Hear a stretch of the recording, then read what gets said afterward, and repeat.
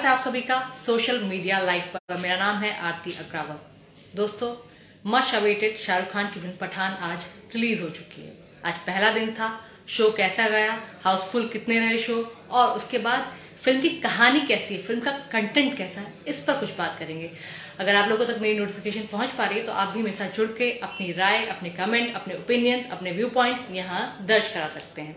यह दोस्तों, पठान फ़िल्म जो आते ही सुर्खियों में थी कई रिकॉर्ड तोड़े। टीजर आया, ज़बरदस्त रिस्पॉन्स ट्रेलर आया, एक और महा रिस्पॉन्स कंट्रोवर्सी के साथ। और उसके बाद शो हाउसफुल जो एडवांस बुकिंग हो गई।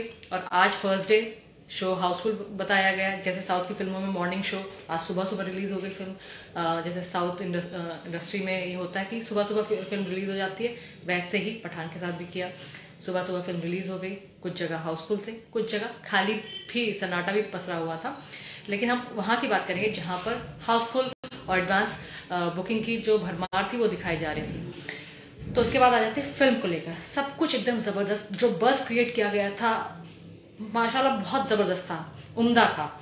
और वहीं अगर शाहरुख खान की बात करें, क्योंकि शाहरुख खान का लंबे वक्त से, शाहरुख खान के फैंस स्पेशली इंतज़ार कर रहे थे क्योंकि शाहरुख खान के चाहने वाले दुनिया भर में बहुत सारे हैं। ये हम सब भली बातें जानते हैं इस बात से कि इतने सालों से शाहरुख खान का इस इंडस्ट्री को दे रहे हैं तीस बत्तीस सालों से ज़्यादा का वक्त हो चुका है। तो शाहरुख खान की जो फ़ैन फॉलोइंग है वो लार्जर देन लाइफ वाली है। तो बहुत लोग वेट कर रहे थे और वेट भी लाजमी था। आ, लेकिन इसको थोड़ा रोकते हैं क्योंकि कंटेंट और कहानी में काफ़ी कमी दिखाई देती है। लेकिन अगर शाहरुख खान के लिहाज से बोले तो ये फ़िल्म पठान एक पूरी कहानी ओवरऑल कहानी को छोड़ के शाहरुख खान के ऊपर बनी हुई एक फ़िल्म ज़्यादा दिखाई देती है। पठान की कहानी कुछ इस तरह है। स्पॉइलर नहीं साबित होंगी। थोड़ा सा जिस दे देती हूँ। कहानी कुछ इस तरह है कि एक आतंकी संगठन है। लश्कर तैयबा या फिर अलकायदा की तरह नहीं है। एक प्राइवेट आतंकी संगठन है।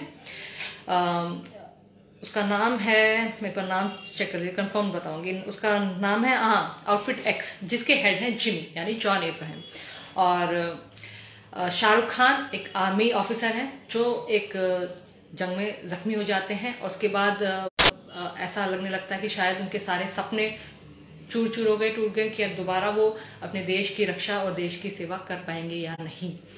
तो इसके लिए पठान, यानी कि शाहरुख खान, अपने जैसे जो आर्मी के ऑफिशियल जख, जख्मी हो चुके हैं उनके साथ मिलकर फौज बनाते हैं। और जैसे कश्मीर हमेशा कश्मीर के वक्त पाकिस्तान हमेशा मुंगी खाता रहा है। मूवी में भी कुछ कुछ ऐसा ही दिखाया गया कहानी बहुत ज़्यादा प्रेडिक्टेबल लगी तो मूवी में कुछ कुछ ऐसा ही दिखाया पाकिस्तान इस बार भी मूवी खा रहा है।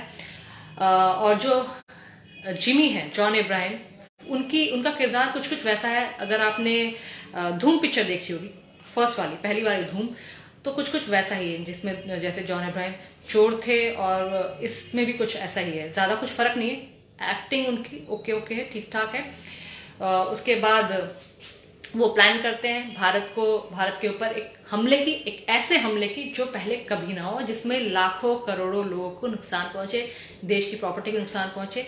ये इसकी कहानी है। ये जॉन इब्राहिम का कैरेक्टर है।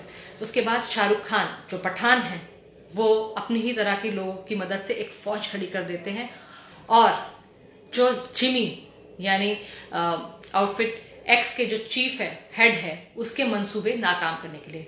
और इसी मुहिम में उनके साथ जुड़ती है दीपिका पदुकोण, यानी रूबी, जिनका किरदार उन्हें काफ़ी एक्शन करने के लिए दिया ये बहुत अच्छी बात है कि एक फीमेल लीड को एक्शन करने के लिए दिया है। सिर्फ़ ग्लैमर तक सीमित नहीं रखा है। लेकिन उनका, उनके किरदार में कहीं ना कहीं कमी नज़र आती है।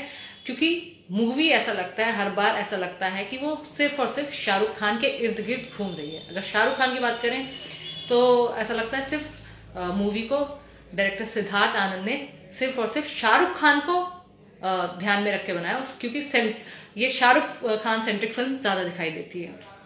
और क्योंकि आपने, आप में से जो भी फैंस है शाहरुख के और बहुत लोगों ने टीजर भी देखा है ट्रेलर भी देखा है तो काफ़ी यूट्यूब पर काफ़ी धमाल मचाई थी और काफ़ी कहानी प्रेडिक्टेबल थी। ऐसा नहीं, ऐसा कभी भी सस्पेंस जो कहानी का कह सकते हैं, वो कहीं पर भी नहीं था। क्योंकि आप, आजकल वैसे धीरेन्द्र शास्त्री बहुत चर्चा में है। धीरेन्द्र शास्त्री जैसे चमत्कारी भविष्यवाणी कर देते हैं, सब कुछ पर्चे में पहले अपनी अपने पर्चे की पावर से सबको लुभा रहे हैं, लोगों के निशाने में भी आ रहे हैं, लोग समर्थन भी कर रहे हैं। कुछ कुछ वैसा ही था। धीरेन्द्र शास्त्री जैसे चमत्कार कर देते लेकिन इस फ़िल्म में हम सब भी, या आप सब एज ऑडियंस भी चमत्कार कर सकते हैं। चमत्कार इस तरह कि आपको कहानी लाजमी पता चल जाएगी। आप खुद प्रेडिक्ट कर सकते हैं कि अगले मोमेंट अगले 10-15 मिनट में क्या कुछ होने वाला है।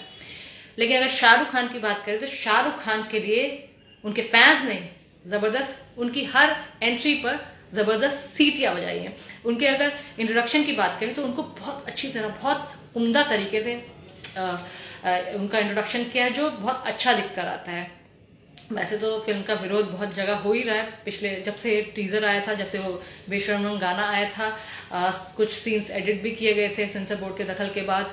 काफ़ी कुछ धमाल मचा हुआ है काफ़ी कुछ बवाल भी मचा हुआ है। आज भी बवाल मचा था। बहुत सारे हिंदू संगठन पहुँचे भी थे और बहुत लोग बॉयकॉट कर रहे हैं वो आज भी बॉयकॉट कर रहे हैं। तो फ़िल्म कहीं ना कहीं दो भागों में बटी दिखाई देती। एक शाहरुख खान के फैंस जो शाहरुख खान की फ़िल्म का इंतज़ार कर रहे थे वो पठान ज़रूरी नहीं थी कि पठान ही हो, कुछ भी हो सकता था। ये सिर्फ़ शाहरुख खान का इंतज़ार करे जो शाहरुख खान के जेनविन और लॉयल फैंस कहे जाते हैं। और दूसरी ओर बॉयकॉट बॉलीवुड वाले, जो पिछले कुछ सालों से, कुछ वक्त से बॉलीवुड का बॉयकॉट कर रहे हैं।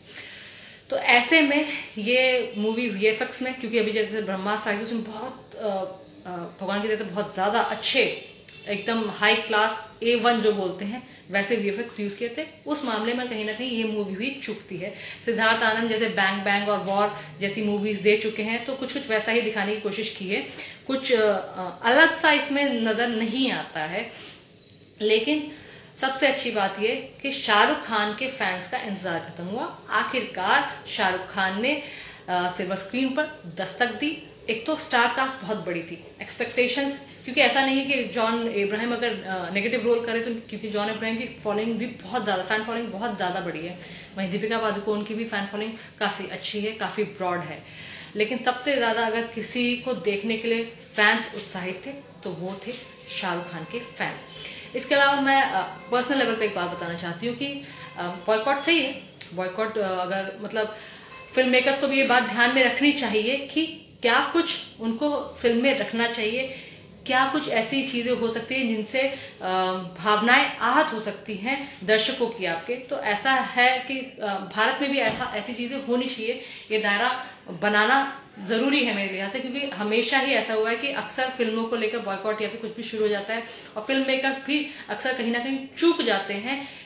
ये सोचकर कई बार पिक्चरें नहीं बनाते कि इससे हमारे दर्शकों पर क्या प्रभाव पड़ेगा? क्योंकि इवेंचुअली तो आपकी डेस्टिनी डिसाइड करने वाली जनता ही है। जनता ही आपकी फ़िल्म देखने जाएगी और जनता के लिहाज जनता को आधार बनाकर अगर आप फ़िल्में बना रहे हैं और ये देशभक्ति जैसी फ़िल्म है तो इसमें खास तौर पर ध्यान रखा जाना चाहिए था जो कहीं ना कहीं आ, आ, आप सब जानते हैं हम सबने देखा है कि किस तरह लगातार इस पर बवाल मचा रहा। लेकिन दूसरी महत्वपूर्ण बात ये कि जो फ़िल्म बनती है, उसमें सिर्फ़ शाहरुख खान या फिर दीपिका पादुकोण, ये सब नहीं है। फ़िल्म के पीछे मेहनत कई लोगों की होती है। बहुत छोटे छोटे लोग होते हैं बहुत छोटे आर्टिस्ट होते हैं सेट्स पर बहुत काम करने वाले लोग होते हैं, जो डेली वेजेस पे काम करते हैं पर डे के हिसाब से काम करते हैं। उन लोगों की आमदनी, उन लोगों का, उन लोगों की रोजी रोटी उन लोगों का घर परिवार इसी छोटे छोटे कामों से चलता है। तो कहीं ना कहीं अगर हम फ़िल्में बॉयकॉट करते हैं, क्योंकि फ़िल्म हमारे देश में फ़िल्म एक बहुत बड़ा बिज़नेस ला कर देती है।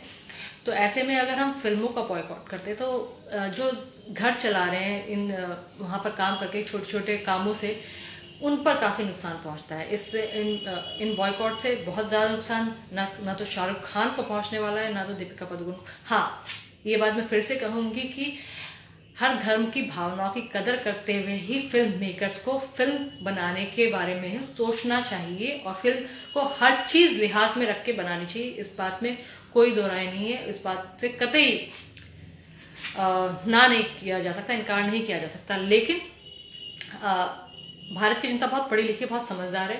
तो कहीं ना कहीं उन्हें यह भी समझना चाहिए कि फ़िल्म में, फ़िल्म, एक फ़िल्म जब बनती है, सिर्फ़ वो कुछ लोगों तक ही सीमित नहीं रहती। बहुत लोग उनसे अपनी, अपने जीवन यापन कर रहे हैं तो उस बात को ध्यान में ज़रूर रखना चाहिए। बाकी अगर फ़िल्म की बात करें तो कहानी वीएफएक्स और कैरेक्टर्स के हिसाब से कहानी चूकी है। सिर्फ़ और सिर्फ़ इसे शाहरुख खान की मच अवेटेड कॉन्ट्रोवर्शियल पठान कहा जा सकता है। और इसके बाद एक और बात बता दूँ। सलमान खान का कैमियो जिसके बारे में सब जानते थे ऐस, मतलब मूवी में ऐसा कुछ नहीं था जो पहले से ही दर्शक या फैंस नहीं जानते थे। टीजर से काफ़ी कुछ उजागर हो गया था ट्रेलर से उसके बाद काफ़ी कुछ पिक्चर क्लियर हो गई थी। और सलमान खान के कैमियो की बात तो पहले ही लीक हो चुकी थी। लेकिन सबसे उमदा बात यह थी कि शाहरुख खान ने ना तो कोई प्रमोशन किया ना कपिल शर्मा शो में आए ना किसी ऐसे टीवी रियलिटी शो में नहीं आए अपने मूवी प्रमोट करने क्योंकि प्रमोशन ऑलरेडी हो रहा था यूट्यूब पर। इतने इतने बवाल मचे हुए थे प्रमोशन की ज़रूरत शायद थी ही नहीं। बस आखिर में यही बात कि ये मूवी सिर्फ़ और सिर्फ़ शाहरुख खान के फैंस के लिए लेकिन आप लोगों में से कितने लोगों ने फ़िल्म देखी है फ़िल्म देखी है या नहीं, वो भी आप हमें बता सकते हैं और आप लोगों को फ़िल्म कैसी लगी, इस बारे में भी ज़रूर बताइएगा। बहुत बहुत शुक्रिया आप सभी का मेरे साथ जुड़ने के लिए। कल भी मैं इसी वक्त आऊँगी एक नए मुद्दे के साथ। कल फिर मिलते हैं। तब तक अपना बहुत ख्याल रखिए और गणतंत्र दिवस की भी ढेरों शुभकामनाएँ एडवांस में।